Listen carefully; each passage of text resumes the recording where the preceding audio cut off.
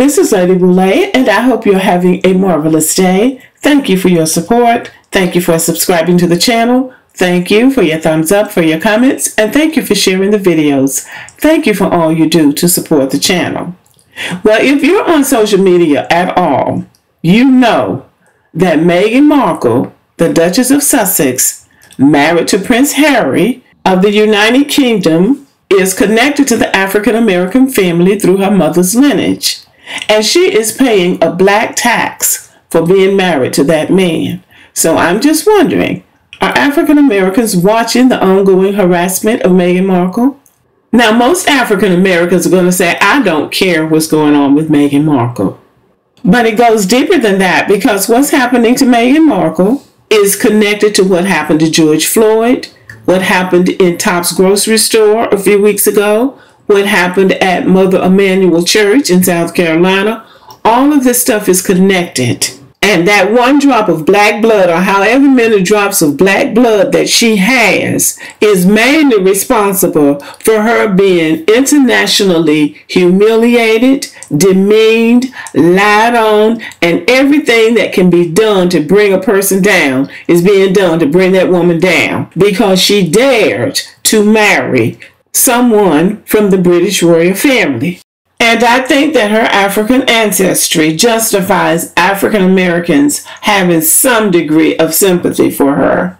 She grew up in Southern California as a biracial, and she probably has experienced a lot of privilege, not only from being racially ambiguous, but by the environment, the Hollywood environment that she grew up in. A lot of black Americans who are not racially ambiguous, who look like black Americans, think they have privilege when they're brought up in that environment. So I believe that she thought she would be able to navigate the world as a as a as a privileged American who has know some maybe some degree of wealth in her family at some point and she has experienced racism she she has talked about the racism that she has experienced because Meghan Markle no matter for whatever you can say about it she's not to leave her mama behind that is a fact. She's not going to leave her mother behind. So even if you don't know she's black, you know her mom is black. So I think that I want, I to just talk a little bit about what's happening to her because it's really, really, it's terrifying. I mean, in, in a sense, it's a terrifying thought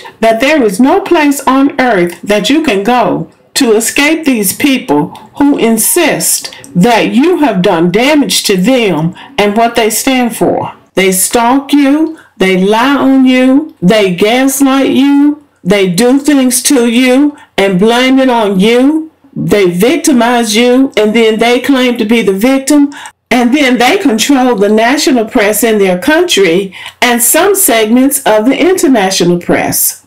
That's terrifying.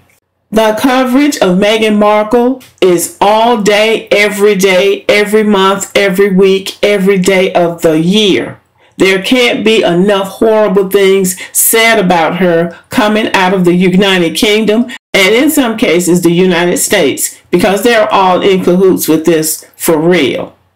Now, the most recent thing was that Meghan Markle was bullying people when she was over there in, in England before they left.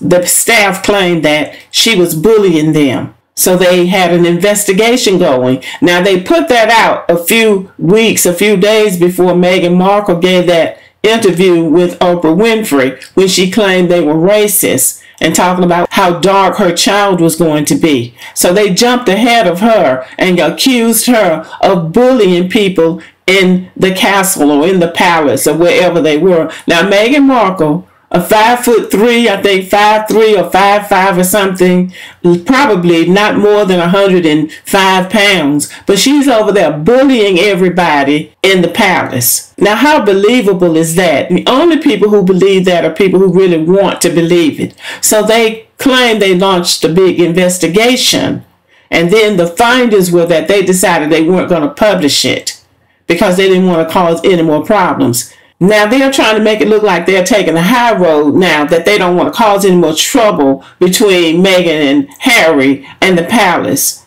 And that's just BS. Because if they didn't want to cause any problems, they would not have publicized any investigation in the first place. If they needed to do an investigation, they was they would have done the investigation and handled it in-house. The public didn't need to know about that. What it is is they don't want to come out here and say what she did because then she could file a lawsuit against them, which she has proven that she will do. And then they don't want to be left holding the bag because most likely this was just something they made up in the first place to take the public's mind off Meghan's interview with Oprah.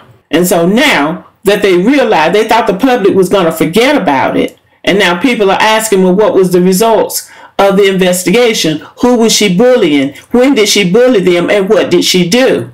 So those are hard questions. Those are questions that have to be answered where? In court. So they don't want that. So now they're trying to back away from it and try to make it look like they're trying to do what's best for Meghan. That's the kind of gaslighting that she has exposed herself to. I don't believe Meghan knew what she was getting into. When they announced their engagement in the garden at, I think it was Kensington Palace, Meghan was happy. She was glowing. She was excited about going to work. She said, I'm ready to go to work, put boots on the ground.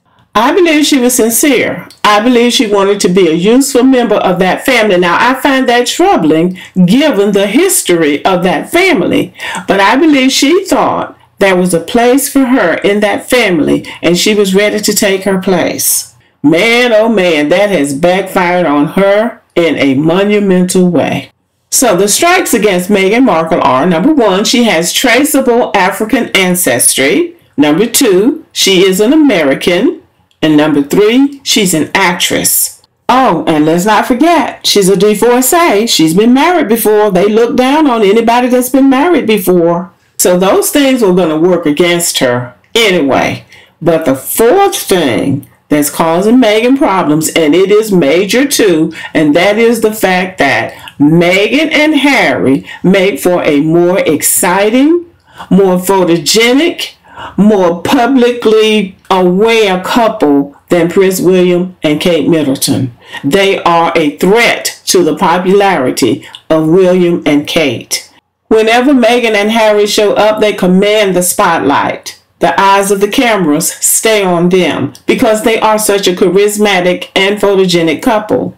Every movement that they make, what she's wearing, their gestures, what they're saying, they will have a lip reader on hand to try and decipher what they're saying to each other. So when they show up, they're the stars of the show. Now, here's why Meghan and Harry are such a problem. The British royal family operates on popularity. They have to be popular with the British public, and the British public has to see them as being relevant and worth the money they pay in taxes to keep them going. So, to that end, Prince Charles, who is next in line to be the king, should be the most popular, which he is not. Then, Prince William, who is behind Prince Charles as heir to the British throne, and his wife should be the next most popular, and they are not. Now, if Meghan Markle hadn't shown up, Kate Middleton might be enough. But Kate Middleton has about as much charisma as a broom. They dress her up in all those high fashion clothes, and she looks like a dressed up broom with a battery in the back. So Meghan has all of the qualities that they need in a crown princess or crown princess to be, but they need those qualities in Kate Middleton. So that makes Meghan more of a problem in black America, we talk about people being messy. So and so is messy. They keep up mess all the time. But usually this is frivolous stuff compared to what these people are doing to this woman. What we do is child's play. These people are vicious, they're vindictive, they're liars. Even the British people themselves will verify some of the lying that goes on from that palace. I have never seen anything like the crucifixion of this woman before. I have never seen it before. Even back in the day when everybody was talking about O.J. Simpson, it wasn't to this level of hatred. Either you believed he did it or you didn't. But it wasn't this level of hatred. This this woman hasn't done anything to anybody. But the hatred and venom against her is nonstop. I don't see how she stands it because it's a lot of it is social media. A lot of it is social media, but it's also tabloids. And every story gets worse than the other. If somebody says something good about Meghan, 10 stories are going to come out against her. And they it's like they have to in order for them to try to make Kate Middleton and Prince William look good, they have to put Meghan down. They'll say some ugly things about Harry, but the person that they really stomp on is Meghan. Now, I can hear somebody in the background saying those are rich people's problems, and she brought it on herself. And to a certain extent, that's true. She brought it on herself in that she thought the world was a whole lot better than what it really is. And as far as money is concerned, money can do a lot. We all know that. Money can do a lot, but money cannot buy you peace. And that's what she probably would like to have a little bit of now. But it's always something. If it's not coming out of England, it's coming out of her family, her father and her sister. So it's nonstop against her. Hopefully, she was built for the journey she's on. Sometimes I think about Queen Esther in the Bible when I think about Meghan Markle, where Esther's cousin said to her, who knows but that you were brought here for such a time as this? I hope there's a greater purpose in what Meghan Markle is going through because she is really in a very challenging position. So, the amusing part of it, if there is an amusing part, is that they really want Harry back. They want him back. They don't want Meghan, but they want him. They want Harry in, and Harry wants out. Now, Prince Andrew, who has been in a big scandal, he is the queen's son, said to be the favorite son. He's been in a big scandal that I'm sure everybody has heard about. They want him out. He's trying to sneak back in, but they have to push him out. So they want one out who wants in, and they want one in who wants out. So we'll have to see how that plays out. But it is ugly against uh, Harry and Meghan because they they've even gone after their children, saying Meghan never had those children. Those are not Harry's children. Just saying any vicious thing against against that couple. I don't see how people do it, and I don't know how they sleep at night. I know some of it is for money, clickbaits.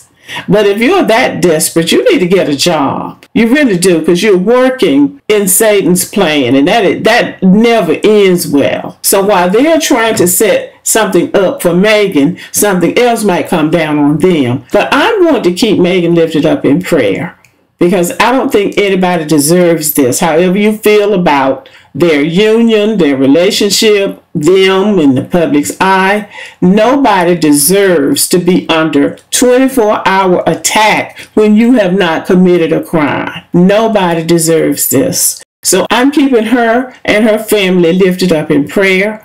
I hope that people will have a change of heart and leave this couple alone. They got out, let them stay out. Leave them alone. But let me know what you think about this. Even if you're not interested, please just tell me what you think about the ongoing harassment of this couple. Thanks for listening. Subscribe to the channel. Give me a thumbs up. Leave a comment. Share the video. And as always, have a great day.